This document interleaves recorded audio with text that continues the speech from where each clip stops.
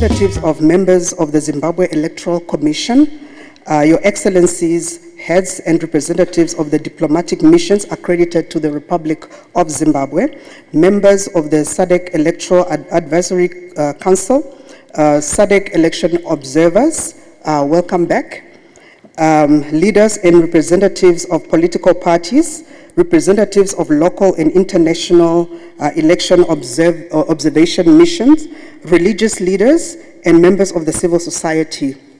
Uh, members of the media, distinguished invited guests, ladies and gentlemen, a very good morning.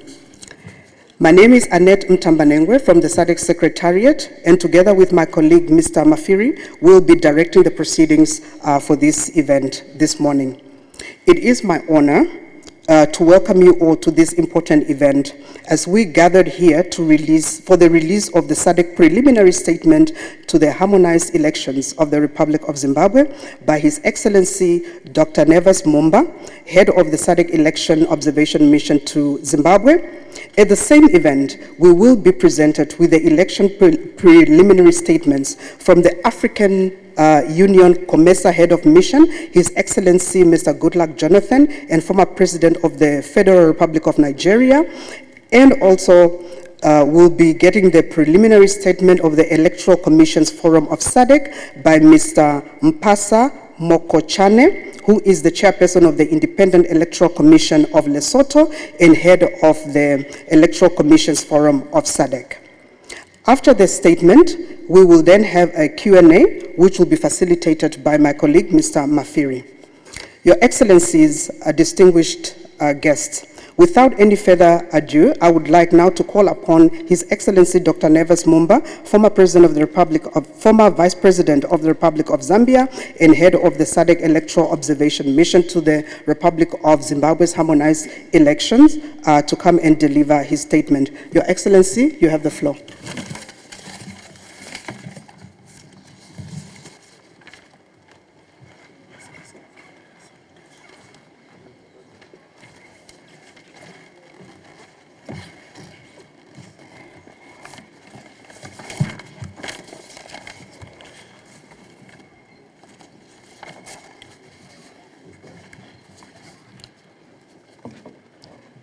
Your Excellency, the former President of the Federal Republic of Nigeria, Mr.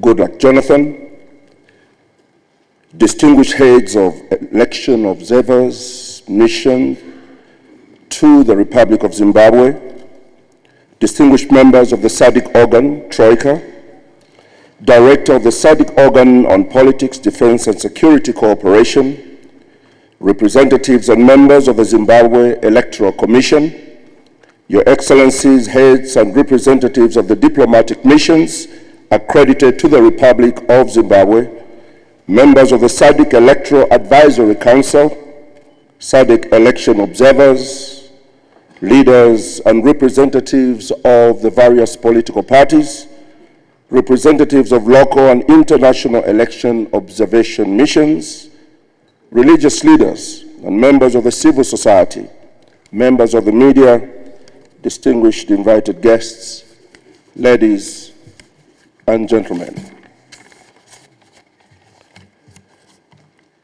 On behalf of the Southern African Development Community, SADC, it is my distinct honor to welcome you all to this important event where I will present the SADC Electoral Observation Mission, SEOM's preliminary statement on the conduct of the 2023 harmonized elections in the Republic of Zimbabwe.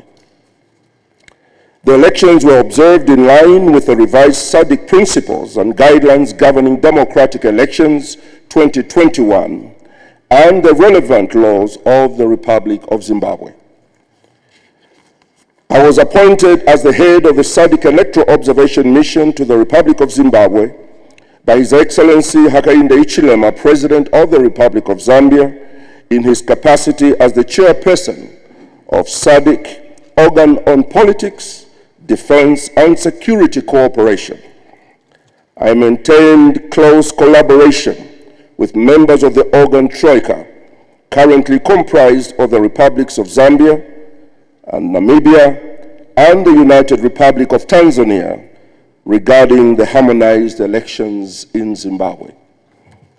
The SEOM also benefited from the pre-election goodwill assessment mission and report of and advice from the SADC Electoral Advisory Council, known as SEAC. The SADC Electoral Observation Mission comprised of 68 observers, 50 were deployed to the 10 provinces of Zimbabwe, and the rest were based at the SEOM headquarters here at the Rainbow Tower Hotel. Our observers were deployed to Harare, Bulawayo, Masvingo, Matabeleland North, Matabeleland South, Midlands, Manicaland, Mashonaland East, Mashonaland Central, and Mashonaland West. During the pre-election phase, the mission consulted key stakeholders, such as the Zimbabwe Electoral Commission, ZEC, key government agencies, leaders of political parties, representatives of faith-based organizations, media, civil society organizations, and the heads of international election observation missions. The preliminary statement covers the mission's observations of the pre-election period and voting day activities. The mission's final report will cover in more detail the observations of the pre-election and the post-election phases and is aimed at supporting and strengthening the democratic electoral processes in the Republic of Zimbabwe as a SADC member state. Now, here is the summary of our findings. Your Excellencies, ladies and gentlemen, I now wish to share the summary of the mission's key findings. A, political and security environment. After consulting widely with stakeholders, the consensus was that the country was generally calm and peaceful constitutional and legal framework for the elections. The mission noted that the 23rd of August 2023 harmonized elections in Zimbabwe were regulated by the Constitution of the Republic of Zimbabwe and the Electoral Act of 2 and 13. According to Section 158, Section 1, subsection A of the Constitution of Zimbabwe of 2013, general elections should take place more than 30 days before the expiry of the five-year period specified in Section 143 of the Constitution. The mission noted that this section applies to the duration and dissolution of Parliament and stipulates that Parliament is elected for a five-year period which commences from the date the President-elect is sworn in and assumes office. The mission further noted that Section 144 of the Constitution requires the President, by proclamation call, to set a date for a general election after consultation with the Zimbabwe Electoral Commission. Pursuant to this provision, His Excellency Emmerson Dambudzo Mnangagwa, on 31st May 2023, issued a proclamation fixing the 23rd of August 2023 as the date for the presidential, parliamentary, and local government elections referred to as the harmonized elections. The mission was informed that a further proclamation was issued rendering 24th August 2023 as a polling day because of the delays experienced at certain polling stations. Furthermore, President Mnangagwa also proclaimed 2nd October 2023 for the runoff election to the office of president if such a poll becomes necessary. The mission noted that this proclamation was in line with the paragraph 4.1 to 3 SADC principles and guidelines governing the democratic elections, which requires that the date or period of elections is prescribed by law. C election management. The mission noted that the elections in Zimbabwe are managed by the ZEC, which is one of the five Chapter 12 of the Constitution Commissions, that is, independent commissions whose purpose is to support democracy in Zimbabwe. In terms of Section 235 of the Constitution, the commissions must act in accordance with the Constitution and they must exercise their functions without fear, favor, or prejudice. D. Delimitation of constituencies. The mission was informed that the delimitation exercise that was conducted in 2022 by the ZEC was marred with controversy. In one way or another, concerned stakeholders claimed that the report that ZEC submitted failed to observe the constitutional requirements for such an exercise, and that there were also divisions among seven commissioners of the ZEC regarding the veracity of this report. The main allegations made against the report was that it constituted gerrymandering and that it failed to observe the correct methodology for calculating the 20% variance constitutional rule with respect to minimum and maximum sizes of the 210 electoral constituencies. The courts dismissed legal challenges that were brought against the delimitation report of 2022. The mission, however, noted that there still remain questions regarding the delimitation exercise for the following reasons. Number one, in its delimitation report, of 2022, the ZEC rightly states that the Constitution recognizes the impracticality of having equal number of voters in each constituency by allowing the Commission to depart from this requirement with a stipulated margin. In this case, the Constitution in Section 161, subsection 6, stipulates that no constituency may have more than 20% more or fewer registered voters than other constituencies. The, the Constitution in section 161, subsection 6, A to F, also lists factors that need to be considered when delimiting since they are important during the exercise. However, the ZEC goes on to also state that based on the provision of Section 161, subsection 6, the Zimbabwe Electoral Commission then calculated the 20% deviation from the national average voter registration expected in each constituency, which was 27,640. This yielded a deviation of 5,528 voters.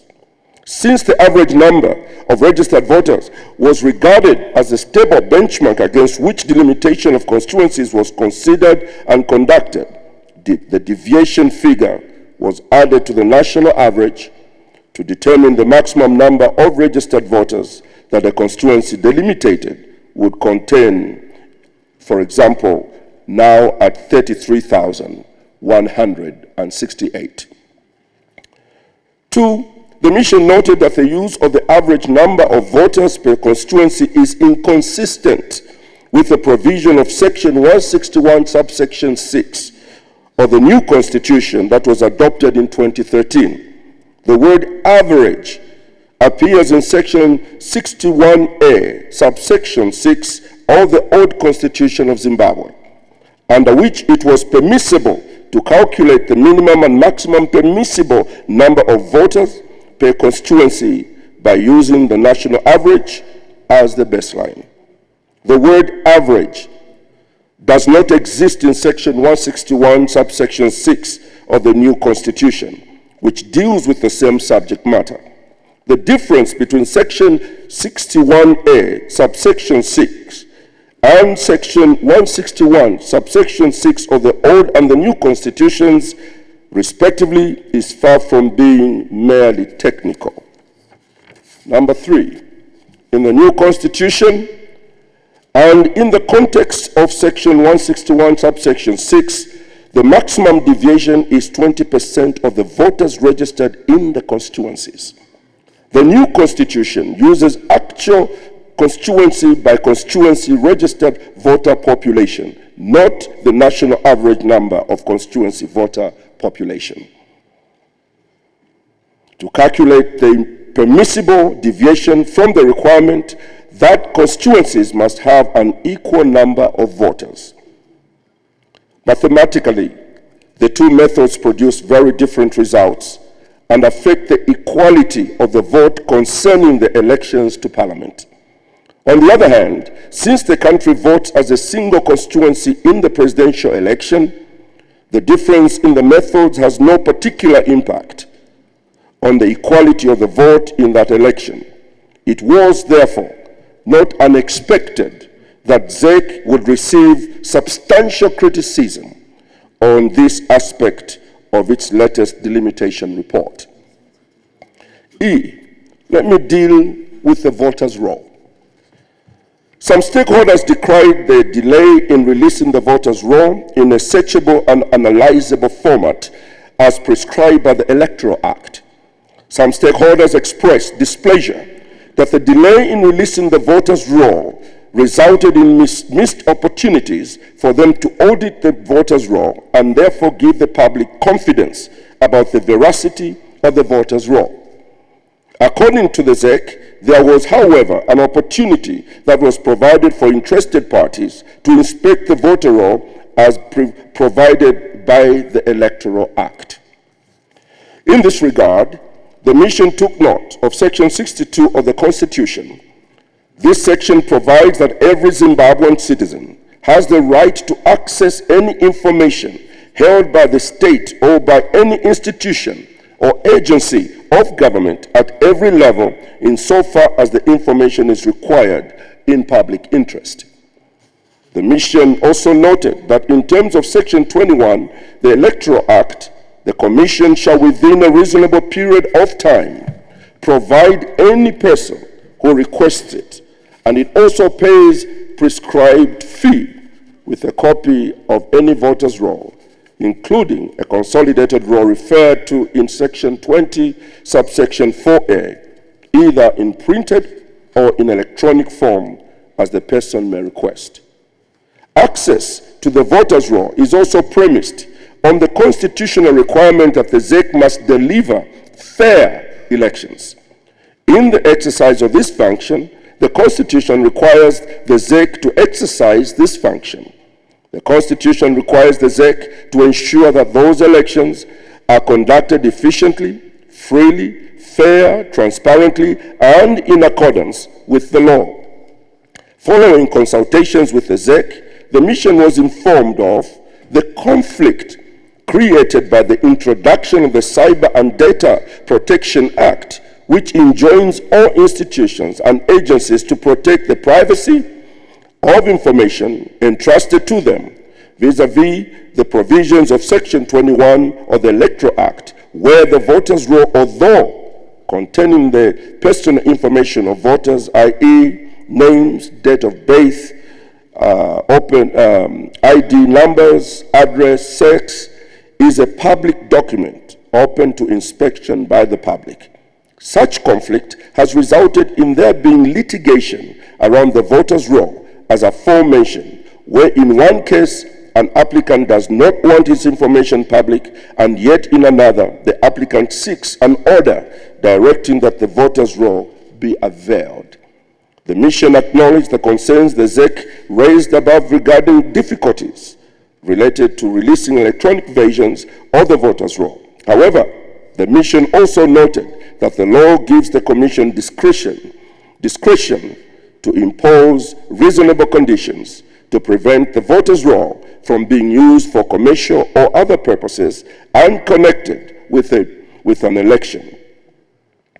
In particular, the mission noted that Section 21 of the Electoral Act provides the following. Where a voter's roll is provided in electronic form in terms of subsection 3, 4, or 6, its format must, must be such as follows its contents to be searched and analyzed, provided that the roll may be formatted so as to prevent its being altered or otherwise tampered with. The Commission may impose reasonable conditions on the provisions of the law to prevent it from being used to, for commercial or other purposes unconnected to an election. Apart from the above safeguard measure against the abuse of the voters' roll, there is also room to note that a constitutional body, the ZEC, is obliged to give effect to the Constitution as to the supreme law. In this regard, the requirement for transparent and fair elections instead of relying on legislation, the Cyber and Data Protection Act, that negates the specific requirement. In addition to the fees levied to access to the printed voters' roll, the mission notes that the above scenario is restrictive regarding access to the voters' roll by interested persons, including political parties. Freedom of assembly, F. The mission noted the controversy emanating from the Maintenance of Peace and Order Act, MOPA, which sets out a process for notifying the Zimbabwe Republic Police of the intention to hold a, camp a campaign activity. In this respect, there were stakeholder concerns about the right to freedom of assembly for election campaign purposes, whereupon the CCC reported that their rallies were being subjected to unreasonable cancellation by the Zimbabwe Republic Police. We also noted reports that there was inconsistent application of the notice period for election campaign gatherings, with certain political parties stating that the ZRP required a seven day notice instead of a three day notice that is applicable during election periods in accordance with Section 71B, subsection 2 of the Maintenance of Peace and Order Act. G, freedom of expression, uh, freedom of expression. The mission received concerns from several stakeholders that the recent amendment of the Criminal Law Codification and Reform Act, chapter number 9, number 23 of 2004, which amendment is commonly referred to as the Patriot Act, has resulted in a severe restriction of the freedom of expression, which is guaranteed by Section 61, subsection 1 of the Constitution. The Patriot Act creates the offense of willfully injuring the sovereignty and national interest of Zimbabwe. Stakeholders were particularly concerned that this offense is vague, too general, and it criminalizes any communication between two or more persons, whether happening in person or virtually or by combination of both, which invokes or is facilitated or convened by a foreign government or any of its agents, proxies, or entities.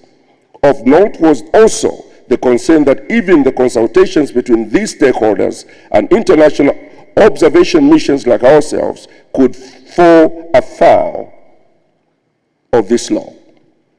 The mission noted that the Patriot Act is incom incompatible with the spirit of Section 61, subsection 1 of the Constitution and paragraph 1, 2, 1 and 2 of the SADC principles and guidelines governing democratic elections, which requires member states to uphold, amongst others, the freedom of expression.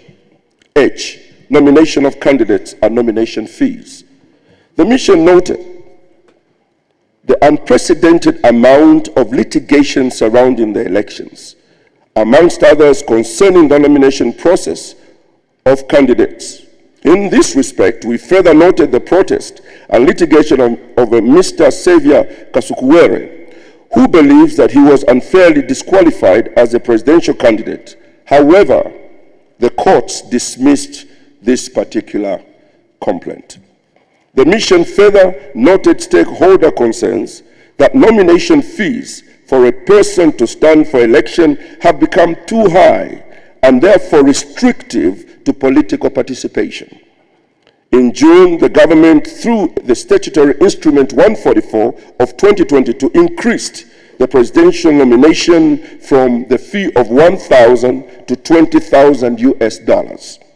Nomination fees for a constituency election increased from 50 to 1,000 US dollars. These amounts were also cited as unduly restrictive to less well-off members of the community, such as women who lack the means.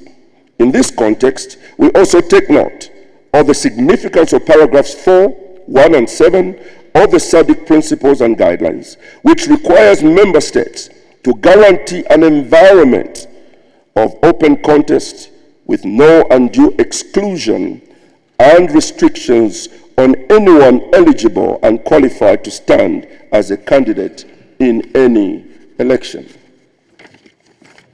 I, participation of women as candidates.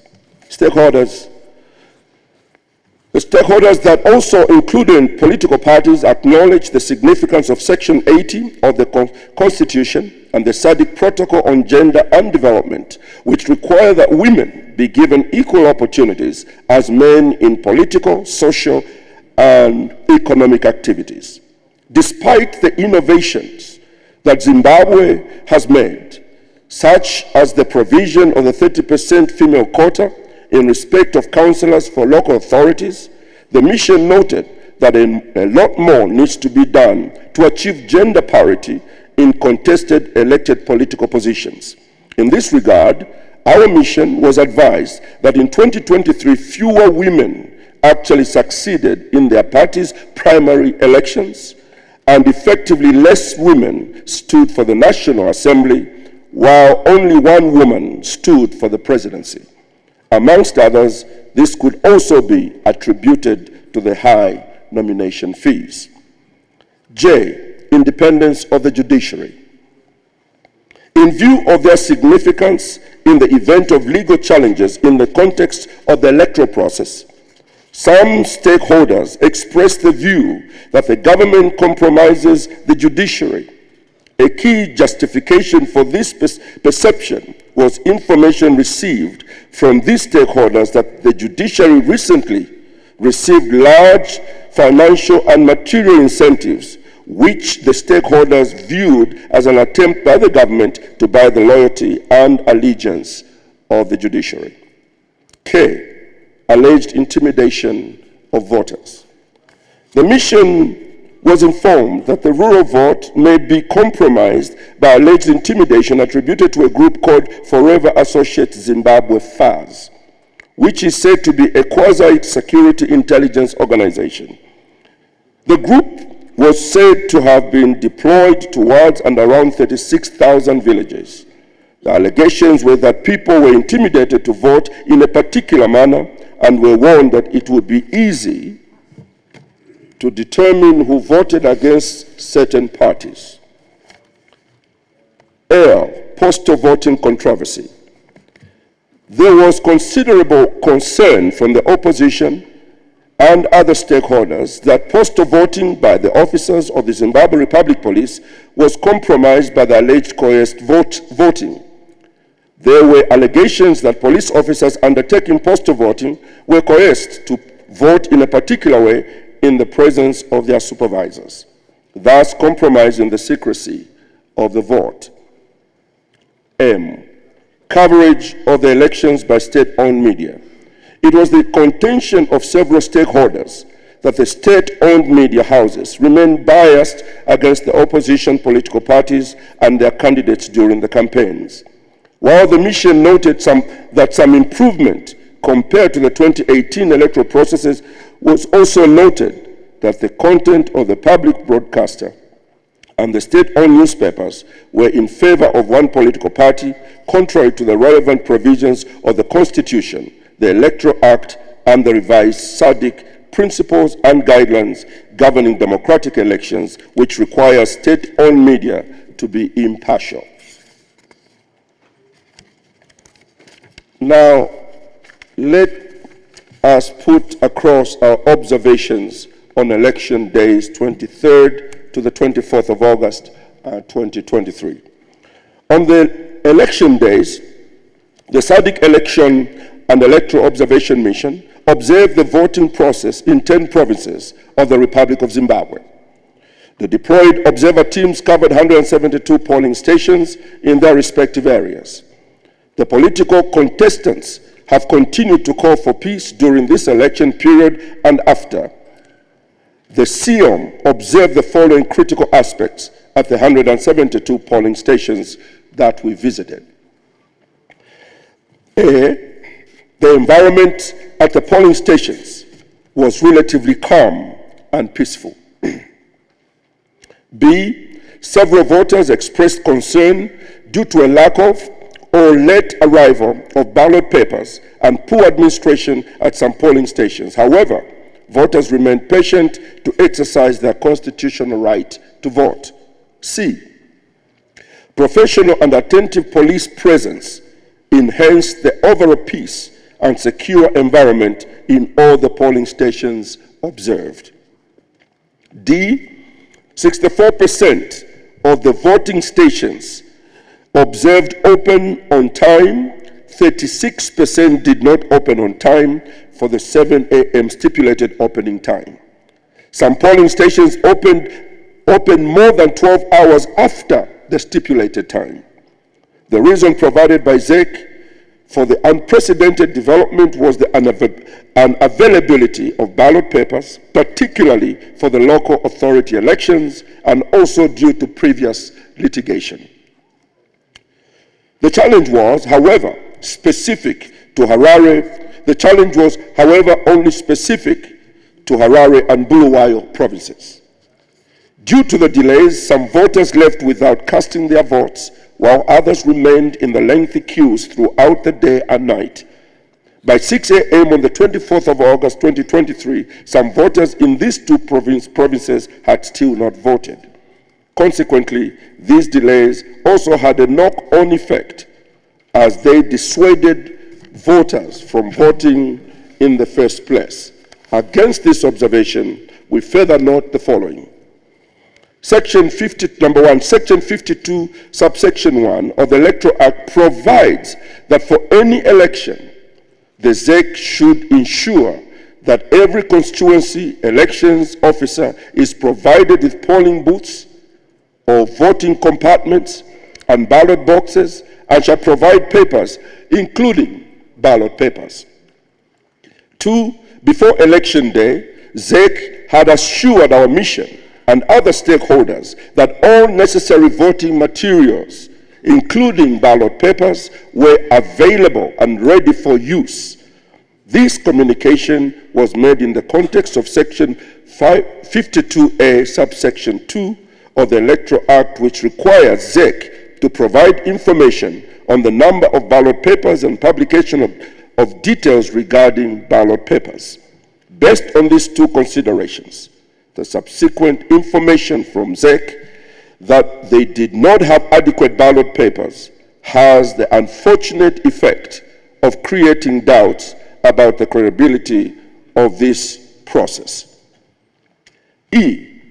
The voters' roll was unavailable at 1% of the polling stations observed and was therefore not displayed outside the polling stations for the convenience of the voters and verification by party candidate agents. F. During the voting period, and at 26% of the polling stations observed, not all voters who turned out to vote could vote. The reasons advanced for this included number one, voters were identified, but their names were not found on the voters' roll. Two, it was not possible to establish the voter's identity. Three, voters were at the wrong polling station. And four, voters did not have a national identity card or passport or due to absence of an official witness confirming an elector's identity. G, 8% of the polling stations observed were not accessible to voters living with disabilities. At 50% of the polling stations, voters living with disabilities, the elderly, the pregnant women were not given priority to vote. I, in 3% of polling stations, observed indelible ink was not checked on the voters before allowing them to cast their vote. J, at 97% of the polling stations observed, voting was free from usual irregularities. K. Voting proceeded in an orderly manner at 95% of the polling stations observed. L. Ballot boxes did not remain locked and or sealed at 2% of the polling boxes that were observed. Um, as a result of the excessive delays in the opening of polling stations in Harare and Bulawayo provinces, at least 36% of the voting stations observed did not close at the scheduled closing of 19 hours, while some had not even opened by that time. It was announced that voting would be extended to proceed into 24th August 2023 to compensate for the late opening. And N, in previous stakeholder consultations, a shadowy organization that I've already referred to as Forever Associate Zimbabwe was accused of conducting a countrywide exercise of electoral intimidation. Our observers confirmed the existence of this group as its officials or agents were easily identifiable at some polling stations as they were dressed in regalia emblazoned with the FAZ name and were accredited uh, electoral local observers. These and other unidentified persons who were not polling officials were also observed taking down the voters' names before they cast their votes. In some areas, voters were intimidated by the actions of these individuals. Or the mission observed the closing and the vote counting processes. A proper analysis of these two processes shall be provided in the final SEOM report. Recom number four, recommended improvements in the electoral process. At this juncture, allow me to recall that SEOM is continuing the process of electoral observation in the post-election phase. As such, the mission will not be rendering comprehensive recommendations and detailed uh, qualifications of the election at this stage. However, the mission has observed the following areas of the electoral process and system that relevant stakeholders may wish to consider improving. Number one, access to the voters' roll. In order to improve perceptions amongst the public, political parties and candidates, ZEC is advised to strictly follow the provisions of the Constitution on transparency, access to information, and timeshously avail the voters' roll in accordance with the stipulations under the Electoral Act. Two, nomination fees. In order to enhance the openness and inclusive, inclusivity of the, uh, of the political process, ZEC is urged to engage with all stakeholders in the process of revising nomination fees for the candidates and attempt to benchmark the revised fees in the context of the SADC region and Zimbabwe's economic realities. Three, state-owned media coverage.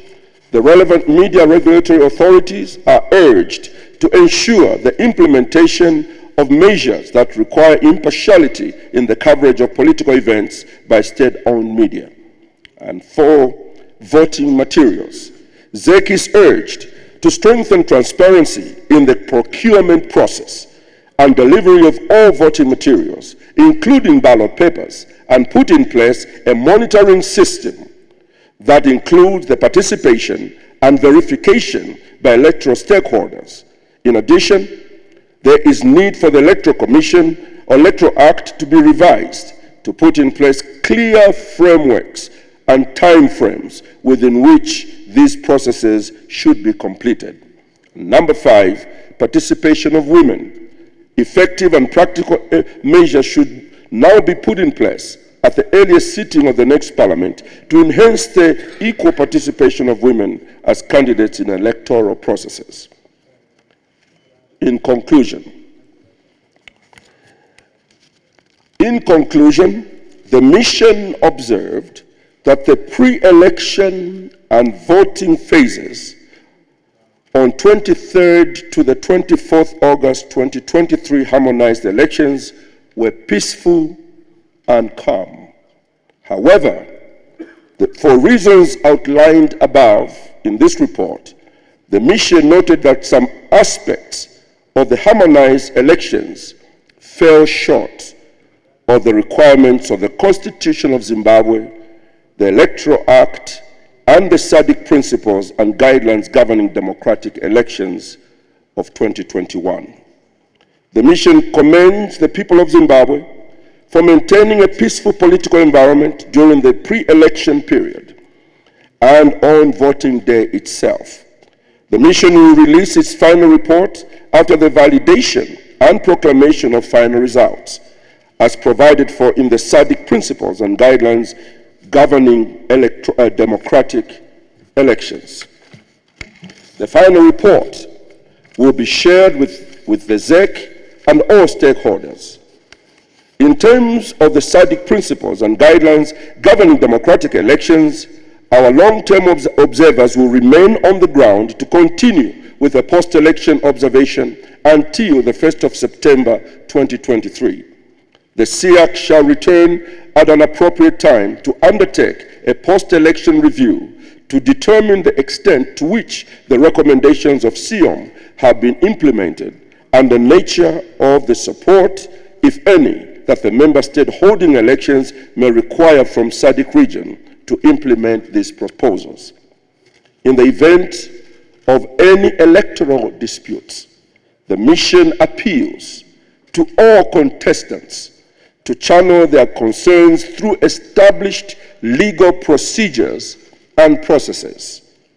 The mission urges all political parties and the people of Zimbabwe and all the stakeholders to allow the ZEC to announce the final results as legally mandated. May God bless Zimbabwe. May God bless SADC. May God bless Africa. Merci beaucoup. Obrigado, asante sana, tatenda. I thank you.